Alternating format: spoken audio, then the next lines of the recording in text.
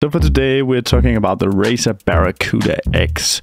We're actually going to talk about the differences in the Razer Barracuda X tw from 2021 and the edition from 2022. At this point, I'm like 90% sure I found the best wireless headset under $100.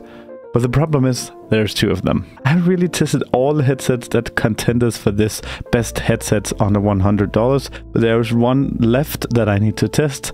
Stay tuned for that on the channel. The Razer Barracuda X 2022 is not a V2 model of the 2021. According to my research, it's just a refreshed version of the 2021. This means that this is not something, a product that's going to live side by side, but it really means that once the 2021 model is uh, sold out in stock of all the retailers, then it's just going to simply going to get replaced by the 2022 model. But that's just not how it works in real life. All the retailers, and according to my research, still have the 2021 model and the 2022 model. But there is a price difference mm, about 15 to 30 dollars or so. I bought both of the headsets so I can give you my real recommendation of which one of these you should buy and if it's worth the upgrade. Let's talk about similarities. This on the right here is my 2021 model and this is the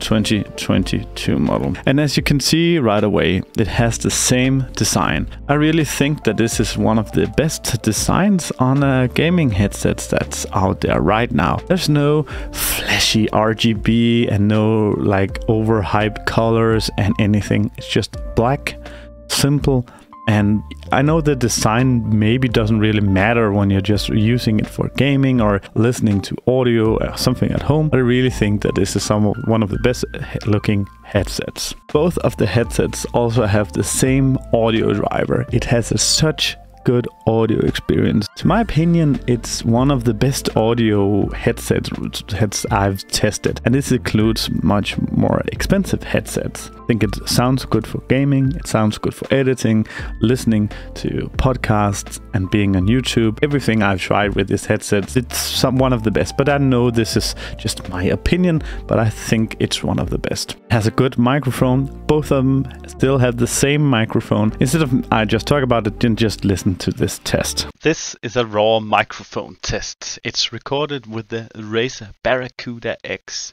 I have not changed anything with the audio other than adjusting the levels to be as loud as the rest of the video. I'm now recording with the Razer Barracuda X inside of OBS Studio, just with a slight equalizer on the sound and a tiny bit of compression makes this sound more full and makes this good enough for content creators out there.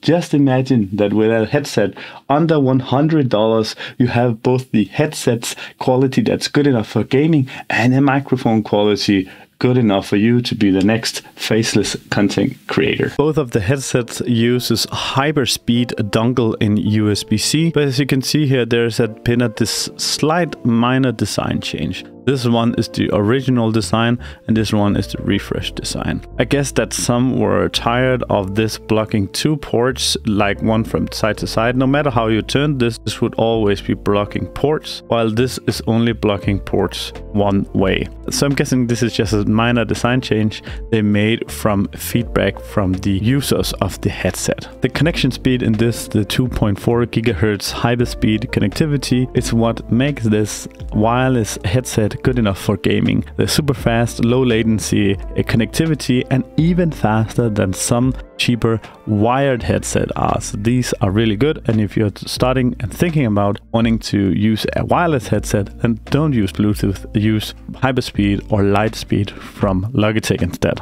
Let's just talk about the few things you get in the 2022 model that you don't get in the 2021 model. Maybe it's worth it for you to pay those 15 to 30 extra dollars. See, the one thing you get in this 2022 model is Bluetooth connectivity besides the hyperspeed. So if you want to connect it to an iPad or to an iPhone or something that doesn't support the USB-C dongle, the 2021 model does not allow you to do that, but the 2022 model allows you to connect via Bluetooth. But personally, I don't really think that this is a plus I have uh, just fat fingered my way to switch it to Bluetooth while using the headset. And this is a problem if you were gaming while doing this. I just try to I, I, couldn't remember what setting I was trying to do on my headset, but I actually then switched it onto the Bluetooth connectivity, and I didn't know what was wrong immediately, so I thought there was something wrong with my headset, but it uh, seems that I just switched the connection form. So I would actually prefer the headset without the Bluetooth connectivity. If you're never going to use that, it's not worth having in that extra feature. But of course, if you need the Bluetooth connectivity, it's worth it for you. But then there's just this one extra thing what might be more worth it to you. The 2022 model versus the 2021 model. This one has a 50 hour battery while the 2021 model have a 20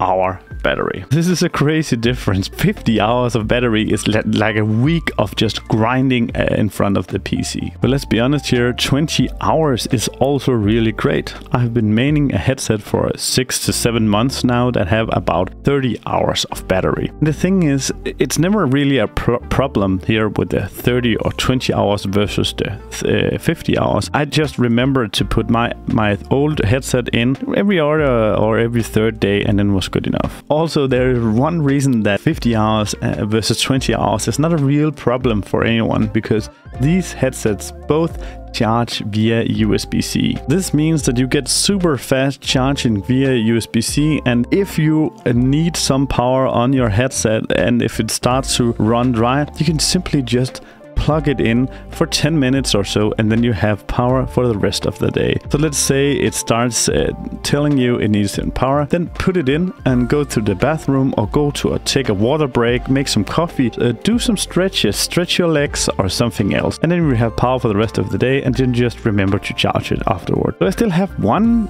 headset that I need to test uh, before I can say that this is actually the best headset under $100. But I can firmly say that I don't think that the the big difference between the 2022 and 2021 matter as much. I'd rather have the $30 if I'm honest. And I can most certainly say that if you already have the 2021 model, then there's no reason at all to upgrade to the 2022 model. If I'm done testing all the wireless headsets under $100, then I'm going to put the video up here. Otherwise, I'm going to put in another video that might be exciting to you. Thank you for watching. Maybe I'll see you in the comments Bye.